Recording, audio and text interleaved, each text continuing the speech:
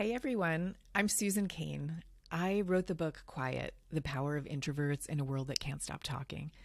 And I'm one of the curators here at the Next Big Idea Club. Today, I want to welcome you to this audio course for my latest book, Bittersweet How Sorrow and Longing Make Us Whole.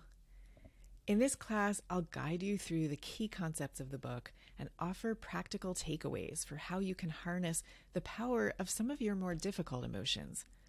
Whether you want to be more creative, manage your grief, or handle the pressure of high expectations, embracing the bittersweet can be the key to living a life of purpose and joy.